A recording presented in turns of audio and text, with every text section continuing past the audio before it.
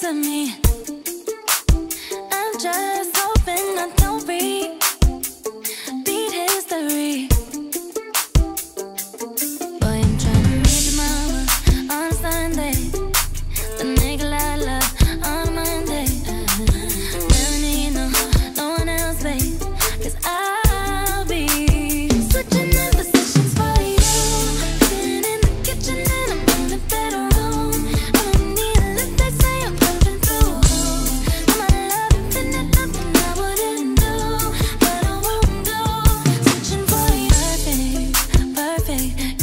to be true.